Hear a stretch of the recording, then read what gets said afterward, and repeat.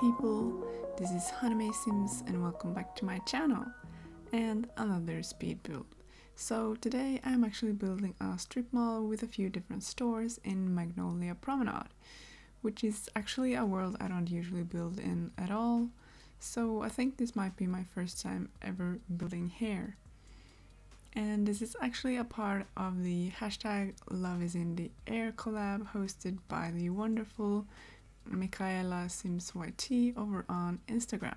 I'm not quite sure from the top of my head right now how many simmers are involved in this collab, but I know there's a lot of talented simmers and we are filling up different worlds in The Sims 4 with Valentine's inspired builds. And I believe it's Mount Komorebi, Henford-on-Bagley, and Magnolia Promenade and I think there aren't any other worlds um, besides from those. But at least there's going to be a lot of good stuff to check out. So I'm going to leave a list of everyone involved in the description. So please don't forget to check out everyone's creation and yeah, spread some love. so we're sharing our creations on Valentine's Day, which is February 14th, but we can also post to Sunday. So it's actually Valentine's Day today when I'm recording this voiceover, but I think this video will be up on around Wednesday. Valentine's Day has passed, and I want to ask how was everyone's Valentine's? I know not everyone celebrates it, like is not in their culture or maybe you don't have anyone special to celebrate it with like myself. So for me it's pretty much just like any other day basically. But then again i like to think that valentine's is about celebrating more than just romantic love. So it could be just celebrating those you care about or yeah giving some extra care to yourself too maybe so, did you do anything special on Valentine's or do you not celebrate it at all? Let me know, I'd love to hear all about it. And for my part, I'm just spending it at home with my family, and I also bought some cake today, so I'm going to enjoy that. and in my country, we also celebrated Mother's Day on the 13th, so on Sunday, which is the second Sunday of February. So we also had more family over for a visit then. And and I'm not too sure how many countries celebrate it at the same time as us, but I know that at least America and some other countries celebrate Mother's and Father's Day at different times than us, so it's probably us who are the odd ones out. But yeah, let me know when you celebrate those days as well. I'd love to learn more about your cultures and yeah, your countries too, maybe, and what kind of uh, celebrations and holidays you have. For this build, I already knew when I chose the lot that I wanted to do a mall type of build. So in the beginning, I started off making kind of like a big mall, like a place for everyone to come together, maybe do some shopping in these small shops, go on dates, and those kinds of things. But when I took a break from it and I came back uh, a few days later, I wasn't satisfied at all. So I kind of cleared my head a bit and I gathered some inspiration from Pinterest, like I usually do. And that's when I saw photos of different strip malls. So, like a street with some stores in a line along it. so I ended up with three different stores.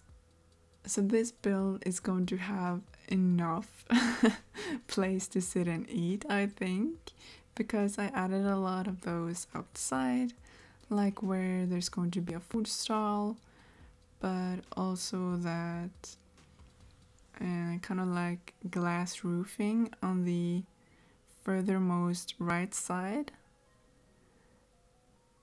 So I think there's going to be a lot of natural light, both from the windows, but I also try to include some glass roofing. So either that like flat glass roof from Island Living and on the middle one I just used the regular roofing but I used the window swatch. So yeah, lots of natural light and I think that's cute as well.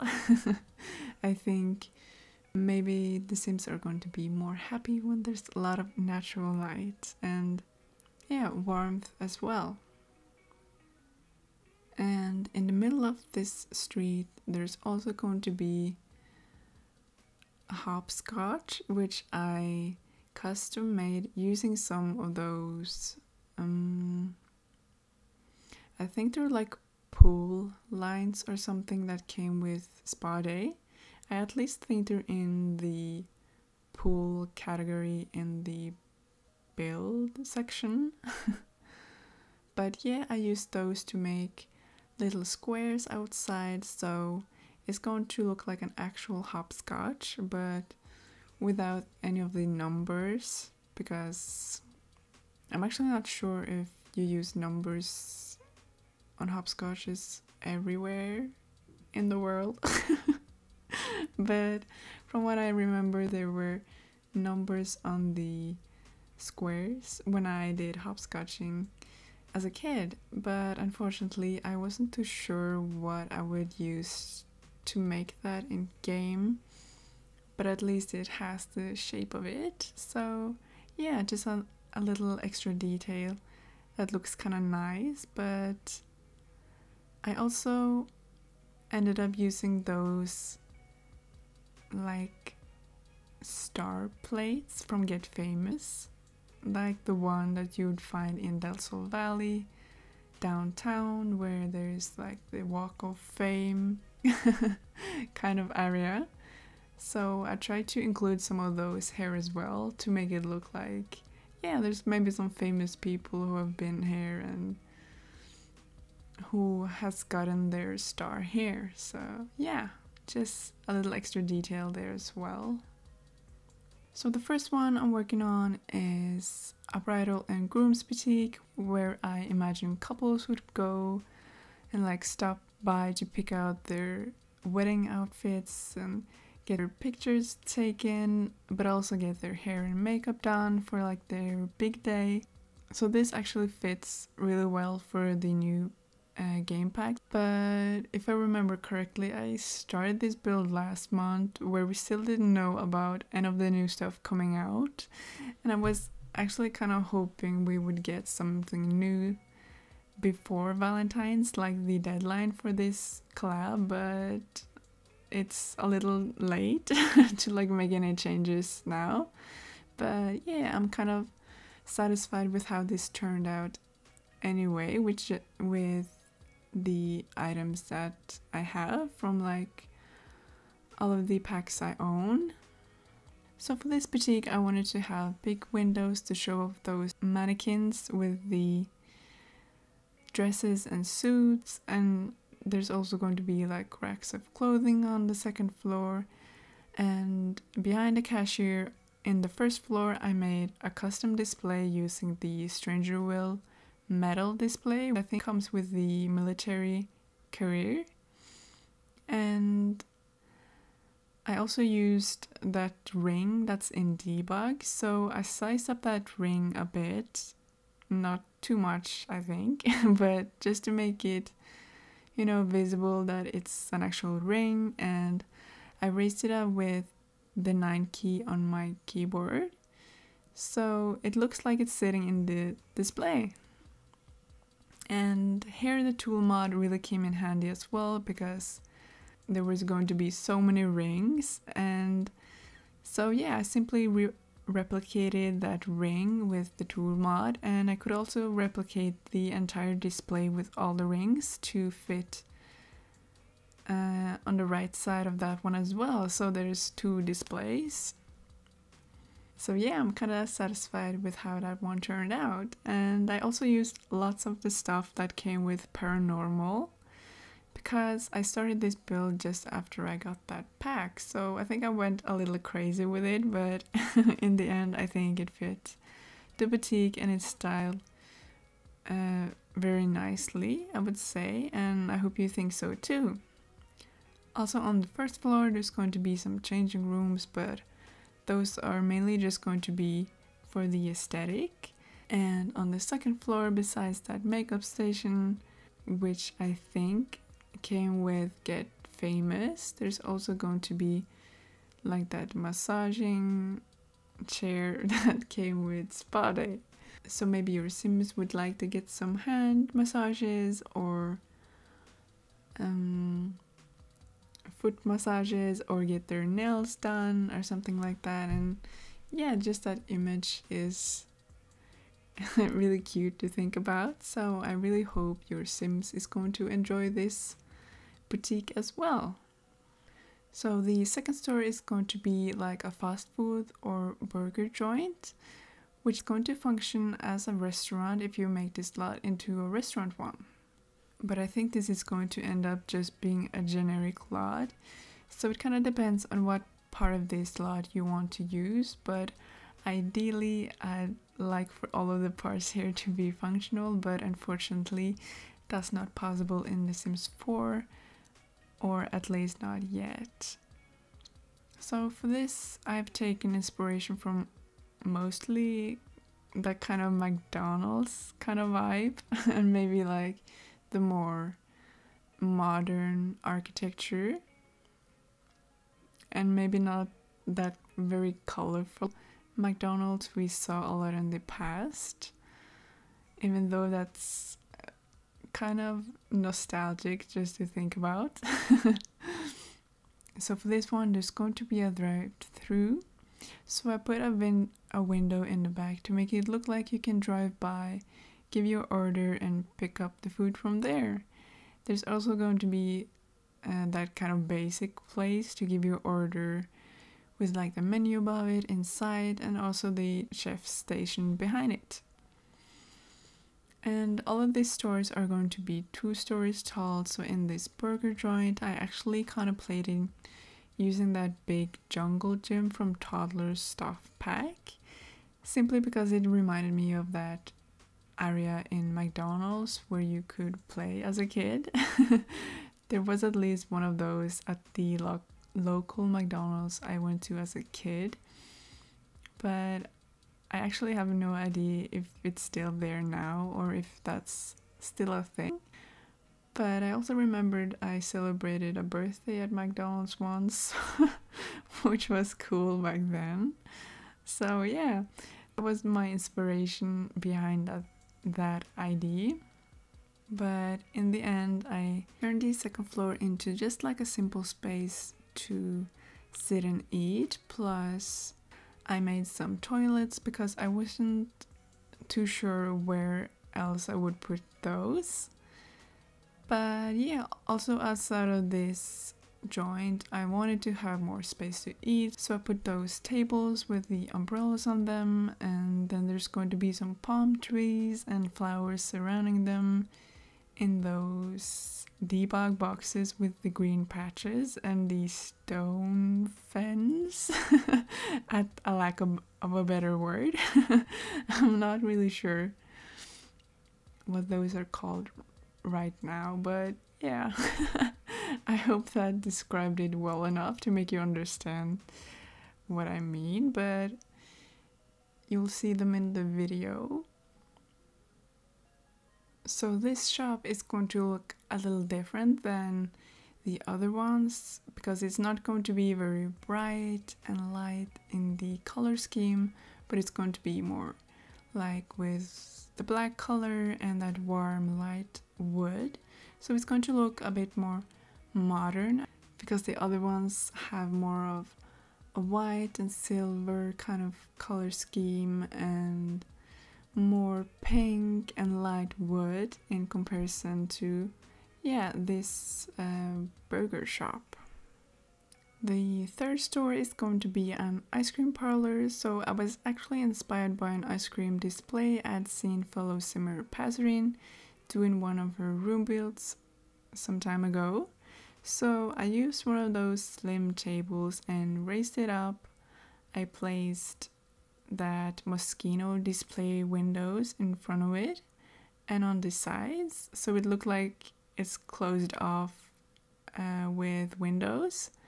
But on the inside where the worker is going to scoop some of that ice cream I used those pet bowl I used those I used those pet bowls. I used those pet bowls that came with cats and dogs like Pastorine did in her room, and I filled them with little gems and stuff to make it look like actual ice cream, but yeah, very colorful ones too. but unfortunately, that's not going to be functional. But I did add that little ice cream machine that came with, I think, Cool Kitchen stuff. So, yeah, you could make some ice cream there as well even though like not uh, that custom one is going to work.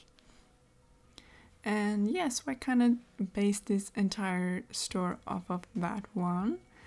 And I wanted to decorate this to be very cutesy to go with the Valentine's theme. And the second floor is going to have like a little stage for musicians. So there's a microphone a keyboard and a guitar. So yeah, there's going to be some entertainment here as well if you would like that. But there's also going to be a play area for the kids.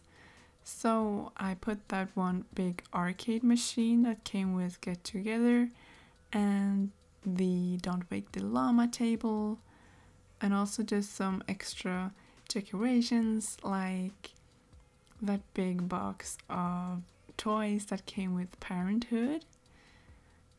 Yeah, so it's going to look really nice and cute and a nice place for the kids to be as well. And initially, I wasn't going to have anything special downstairs, but I switched out some bookshelves with some computers, so it's kind of like an old school internet cafe as well. And for the ice cream shop, for the exterior, I also wanted to make it look kind of cutesy. So, like I did on a previous build, I did, I think it was the bowling one where I used the Void Critter characters. So I also used those characters' hair to make that kind of sign of, on top of the roof with a rainbow and the characters, but also down by the window I used like the freezer bunny. And once again I used that kind of I used that city living pay machine or something and sized it down and I put it next to it. So it kind of looks like you can push some buttons and then the freezer bunny might say some words.